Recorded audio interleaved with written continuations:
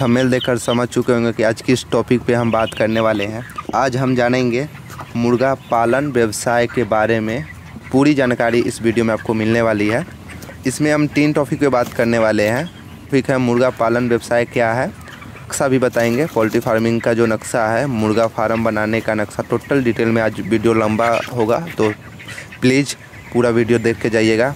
तो आपको कहीं भी विज़िट करने का ज़रूरत नहीं है। तो चलिए मुर्गा पालन व्यवसाय के बारे में कुछ जानते हैं। ज़रूर जानकारी आपको संपूर्ण मिलेगी इस चैनल पे। अगर इससे पहले अगर हमारे ऐसे पोल्ट्री फ़ार्मिंग में आपका स्वागत है और इससे पहले अगर हमारे चैनल पे नए हैं तो लाइक सब्सक्राइब शेयर करना ना भूलें। देखिए, जो कि व्यवसाय बहुत बढ़िया है, माना गया है मुर्गा पालन। देखिए, कैसे शुरू करना है, ठीक है?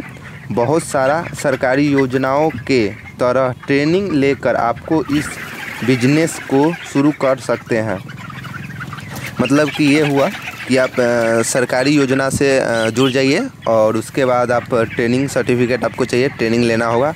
अगर आपको ट्रेनिंग चाहिए और सरकारी योजना के बारे में जानना है तो हमारे चैनल को सब्सक्राइब कर लीजिए और कमेंट बॉक्स में ज़रूर बताइएगा।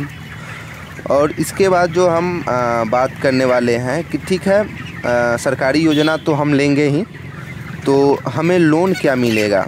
जैसे कि बिज़नेस में तो देखिए, सरकारी योजना का मतलब है कि लोन आपको मिलना चाहिए तो वो आपको फॉर्मेलिटी पूरा करना पड़ेगा डॉक्यूमेंट सारा पूरा करना पड़ेगा। तो अभी हम खर्च के बारे में जानते हैं कि पचास हज़ार रुपये से लेकर दो लाख रुपए तक आप इससे लागत पड़ सकती है। और उसके बाद हम अगला टॉपिक है मेरा, मुर्गा पालन व्यवसाय आखिर क्या है? बहुत सारे फार्मर भाइयों को समझ में अभी तक नहीं आया है, जो शुरुआत कर रहे हैं उनके लिए खास। तो मुर्गा फार्म जो है, जाता है, जैसे बॉयलर कहा जाता है कि अंडे के लिए भी मुर्गाओं को पालते हैं।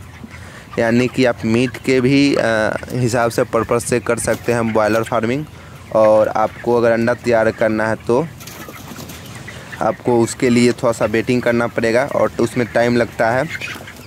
एक साल से लेकर 180 से 270 अंडे देते हैं। एक साल के अंदर ये 180 से 270 अंडे देते हैं। और चूजों पाँच से छः महीने की उम्र में अंडे देना शुरू होते हैं। और लाभ तीन साल तक अंडे देते पोल्ट्री फार्म बॉयलर मीट और अंडे अंडे के लिए मुर्गाओं को अगर मीट के लिए आप पालना चाहता है तो बहुत बेनिफिट है इसमें। अंडा में थोड़ा सा कम है। अब हम नेक्स्ट टॉपिक पे बात करने वाले दो टॉपिक हम बता चुके हैं। अब नेक्स्ट है आपको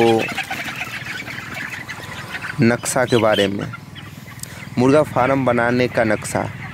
अगर आपको 1500 वर्ग फीट जहाँ, अगर मान लीजिए कि आपके पास एक हज़ार वर्ड रखना है या 1200 रखना है तो आपको करना क्या होगा? अगर आपके पास 1500 वर्ग फीट जगह चाहिए तो लंबाई 50 फीट और चौड़ाई 30 फीट तक कुल जगह 30 अगर हम गुना करेंगे 30 गुने 50 तो लगभग 15 वर्ग फीट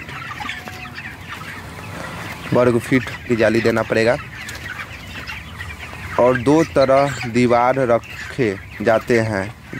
मतलब आपको जैसे पूर्व पश्चिम हो गया तो आपको पूर्व और पश्चिम आपको दीवार रखना है और उत्तर उत्तर और दक्षिण आपको खुला यानी कि जाली वहाँ पे देना है, ठीक है? उत्तर और दक्षिण, दिशा में रखे, ताकि हवा अंदर से गुजरकर बाहर की ओर, हवा जो है आपके फार्म में मतलब उत्तर और दक्षिण अगर आपका मेन फ्रंट मुँह रहता है तो इसमें जाली लगा हुआ है तो हवा आएगा और जाएगा। इससे कोई दिक्कत नहीं है, आपको बेनिफिट ही मिलेगा।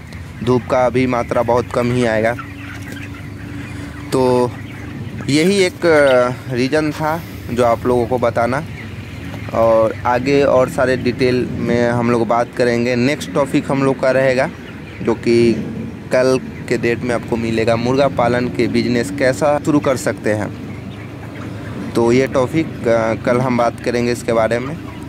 और हमारे अगर चैनल पे नए हैं तो लाइक सब्सक्राइब शेयर करना ना भूलें। और अंत तक वीडियो में बने रहने के लिए धन्यवाद।